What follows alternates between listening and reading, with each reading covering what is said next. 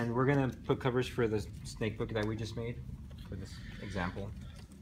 So I'm just gonna go ahead and measure this out. Let's see how big this is. It's four inches by three and a quarter almost.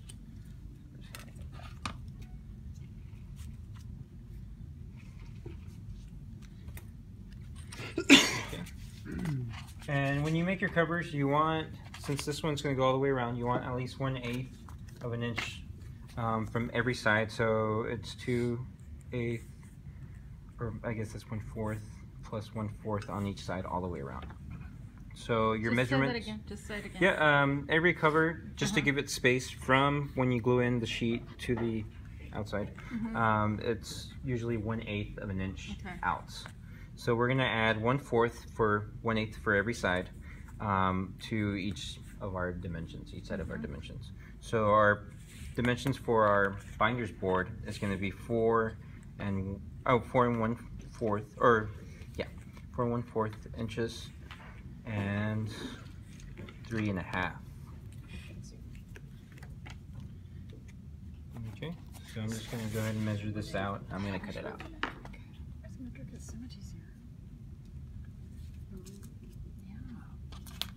It's like each one, each side a little quarter inches more. So much easier. If you need a cheat sheet on a ruler, I'll we'll print out that cheat sheet today. So we'll find that online. Okay, so I'm just gonna go ahead and, and binder's board is kind of hard to, tu- or tough to cut in. So just go through it a couple times so you don't use too much force, and that should get it a good cut. Oh, that's a good recommendation.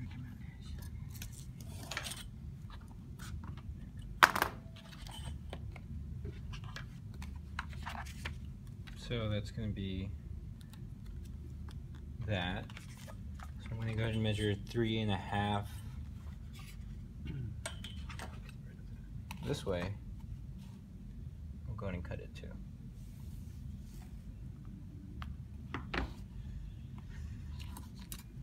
That's a cool thing in the middle. That square.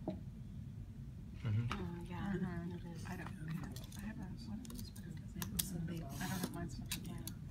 Yeah. But if I buy new one, I have a it's not enough. Me too. You can get those at Asel's. In that back room, they sell them. these.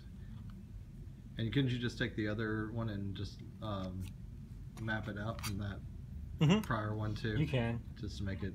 If you need it, make if you're having trouble with your measurements, just take your first one and just stack it on top. Yes, you don't have to. Now, why are you not using the right angle side of the triangle? I'm using the grid. You're using for- the grid for well, that. this is Okay. longer for me to cut, but I'm using the grid to line everything up. That's why these mat boards that have these grids on them, especially with the, the quarters. I have one that just has halves, but with the quarters, um, you could easily just line up and cut, Right. not okay. having to, you know, use your rulers too much.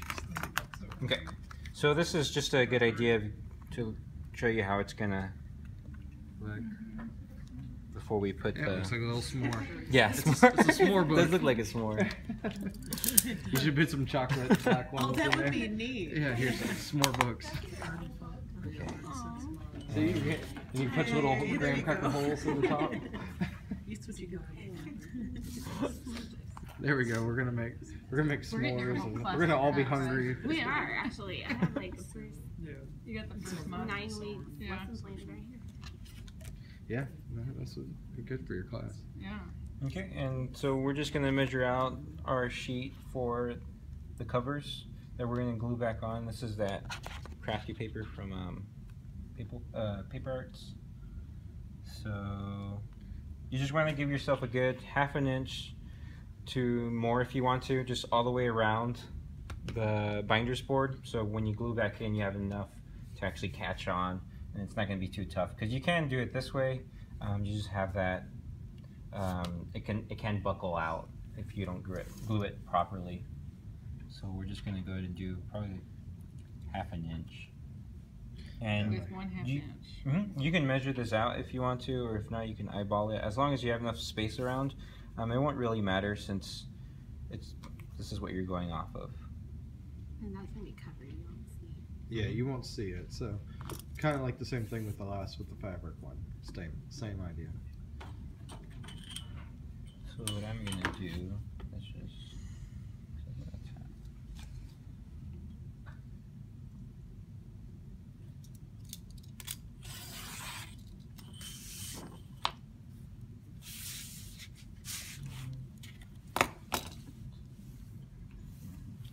We should say paper arts as much as we can in videos. So, do some shameless plugging. Yeah. Paper So arts is on that the paper you Say got what? at Is- Paper yeah. Arts? yeah, paper arts Mhm. on Peak Street, downtown Dallas. The same one we took that whole great field trip to, right? Yeah, the great field trip. Yeah, That really helpful lady? yeah, Which one? The paper art. yeah. Paper arts. Yeah, okay. Can you say that again? You mean the one that I call Fabriano paper? Yeah, it was probably. Yeah. yeah, I could see uh, Terry being like, "Thank you, thank you very much." Okay, y'all can quit now.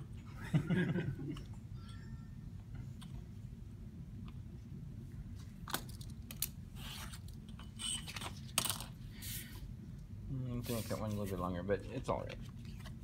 No one will see it. Yeah. I wanna see how you do these corners here. Okay. So this is where your glue comes in, because we're gonna glue these covers on to the, that binder's board. And I brought my PVA glue, which I'm gonna use real quick. Now, let's see that. Brush. Natural This has a cap on it. Yes, I look at. Yours needs to And so you're using a little wax paper. Yeah, just a little bit of wax paper so you don't get the glue all over the place. And um, when you burnish it out, when you press down on it, just so you don't get glue on your bone folder, all that stuff. Because I'm going to use that to glue down.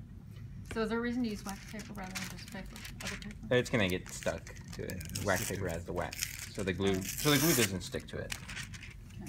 What's the difference in that glue and like tacky glue or something? It was just the pH. Neutral. You could use pretty much any glue. You could even use Elmer's glue and still be fine. Um, this just has a little bit stronger bond and the archivalness to it. And where do you buy that art supply? Yeah. Um, Asel. Amazon too, so if you don't get a cap. Yeah. Yeah, Amazon. We can bat. We, Did we you can all batch order the- on Amazon? I did, but I didn't get a cap. Yeah, it doesn't need a cap. So is it like already effed up? It, no, it, no, no. Cut. I would, cut it John gave me a thing to put it in, and I did it.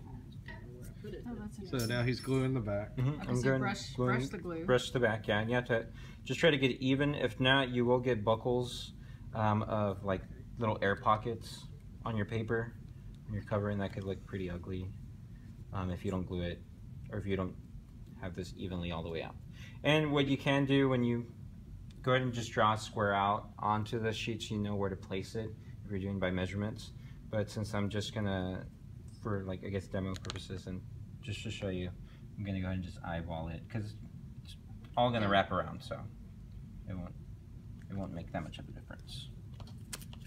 So what I do here, I'm gonna get wax paper on top, Ah, and then I grab my bone folder and kind of just smooth that out so all the glue can come out towards the edges.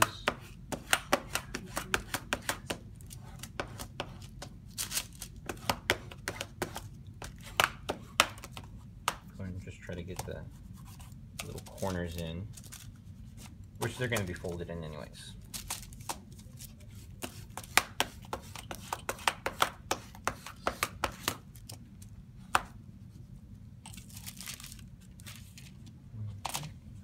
So we have that already. The next, um, you can either fold in, so you could get your corners this way, and we can glue this in, and then we fold these back in, so you have, you know, little, little corners covered yeah, this is the hard part. And that's an easy way to do it. Or I'll do it both ways just to show you. Or you can actually cut out those corners. Because what you want to do is try to have this for it to be almost like a 90 or I guess 45 degree angle. And then we cut these. Oh, wait, let me go do that. better.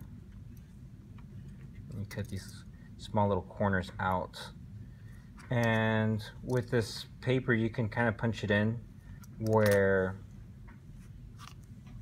see, because you fold one in and you fold the other, and it should cover it still.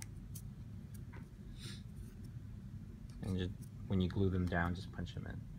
And But the other way, you don't have to cut anything. Just fold in, and you have like these Just leaves corners. a little more bulk there. Mhm. Yeah. Yeah, and that actually looks pretty nice too. yeah. Either way, We're however, gonna however just you look- want. it. Yeah, let's Yeah, look at they them just- done. We're gonna do both of them. Okay. So And also the fabric, if you're using a fabric, if it's a really thick fabric, Mhm. the fold over will really put a bump on the end. And if you don't want that bump and you want it more smooth, then cut it. So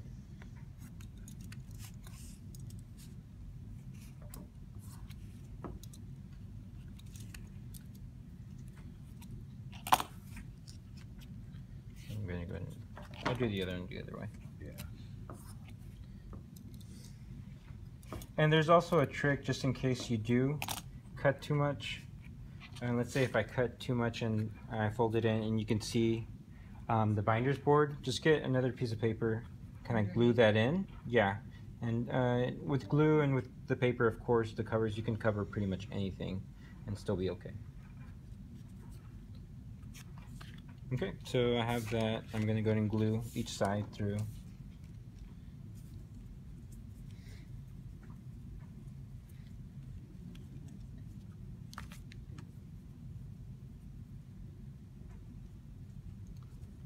I'm gonna do two sides at a time just to and then just fold that back in.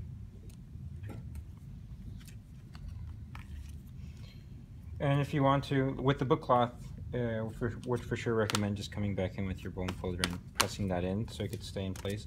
And um, when you do these covers, you're really supposed to lay, let them on the press for a good day or a good couple of hours just to get the glue really in. So something you do before you leave the day. You can do a couple covers at once and then walk away and then come back in the morning and put them in.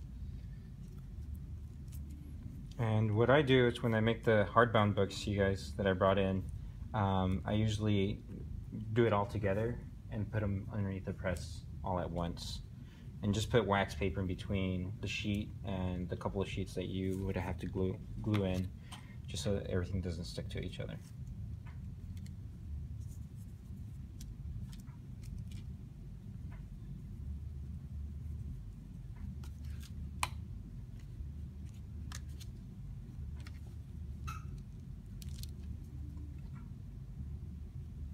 And if these edges kind of like stick out just a bit, you can always punch them back in on each side so they can cover up that binder's board pretty nice or just a lot better. You know, I find it fascinating how we